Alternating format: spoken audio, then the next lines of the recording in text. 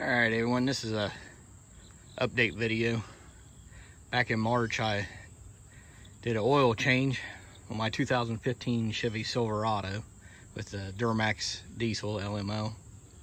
And uh, I added a uh, Caterpillar oil filter adapter to see if it actually extends the uh, amount of miles I can get on a oil change before it's due to an oil change. Instead of using a Caterpillar filter, I decided to try a different oil filter. Uh, this is a, one I used. I used a Luberfiner filter on there. And well, I'm at 3%. My oil's due to be changed and I changed it, like I said, in March. And I always keep a record of everything. Changed on March 16th, 171,935 miles. Well, let's see how many miles I have on here right now.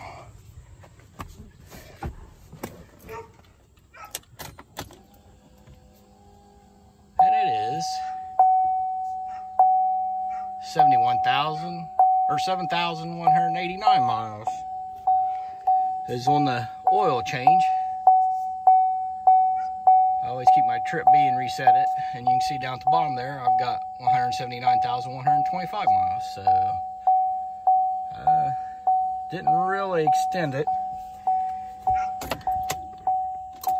I did, I did not keep track of the hours, which I will this time.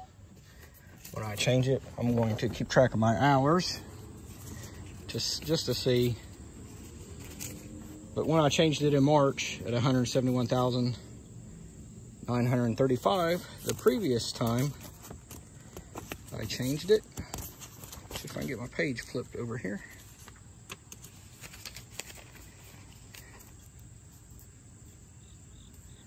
Was the 5th of November 2019 at 165,643. So, well, roughly 6,000, almost 7,000 miles. So it definitely didn't extend the amount of miles I can drive. Uh, I can't say that it's not because I of the uh, Caterpillar filter, filter, oil filter adapter by going to a larger filter, but I did try the Luberfiner filter. Now I'm in the process of changing my oil and I picked up this oil filter to try to see how many miles I can get out of it.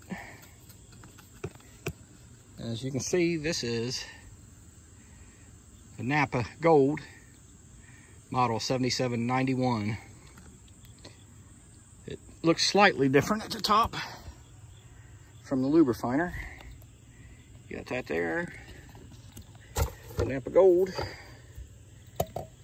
And then here you got the Luberfiner. You can see it's combed in some down there as opposed to the Napa Gold is actually domed up so. Uh, they also the Napa Gold is also supposed to be basically the Wix oil filter. So same size different shape cone. Shape one's convex and one's concave and this time I'm going to be using the Shell Rotella T6 15W40 oil. I picked it up. It was on sale. Actually got these three one gallon jugs. I got them $11 off the original price. It was normally $28.99 and I end up getting it for uh, $17.99. All right, well, I'm gonna go ahead and change my oil install it and then uh, I guess we'll see uh, another update video whenever this uh, oil decides to uh, be changed. Also, one more thing. go ahead and uh, go ahead and get the hours on it. See my engine hours is at 5,433.6. So That way I'll have it documented. And then we'll see another update video. Hopefully further down the road than about roughly 7,200 miles. Hopefully I'll make it closer to at least maybe 9,000 this time. Oh, well, check back later.